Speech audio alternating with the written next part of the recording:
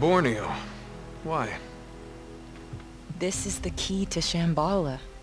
It's the one object your opponent desperately needs, even if he does not know it yet. Oh, I think he knows. Look, I'm very grateful for everything you've done for me. I really am, but I'm through with all this. So, they have beaten you, huh? Your quest is over? Yeah, that's right. What if it's only beginning? Where did you find this guy? Trust me, young man, your ego will mend.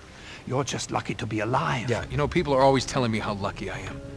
But the truth is, everything I touch turns to shit. Nate. No, Elena, I'm done. Now come on, I'm through playing the hero. Your adversary will not give up so easily. He will not stop until he possesses the thing he desires. Oh yeah? Well, more power to him. Power is precisely the problem.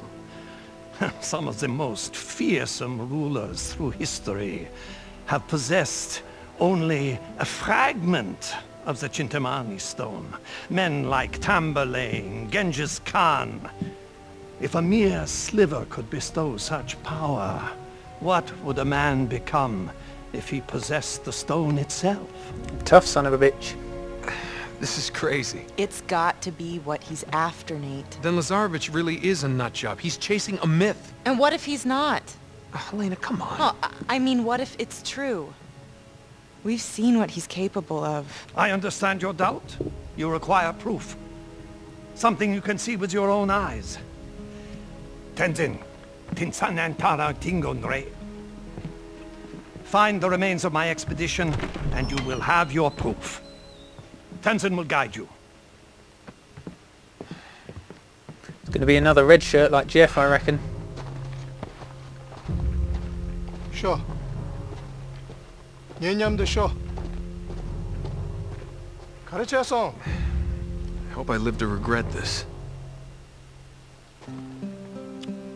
Just come back in one piece. Don't suppose you speak any English, do you, pal?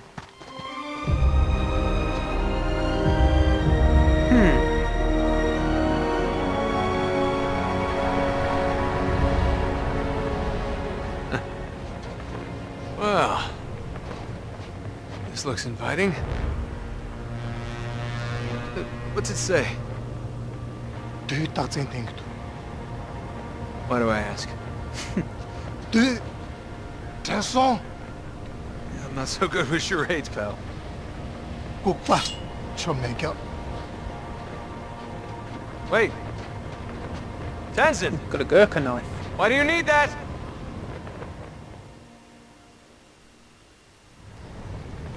That was a quick chapter. Right, save again.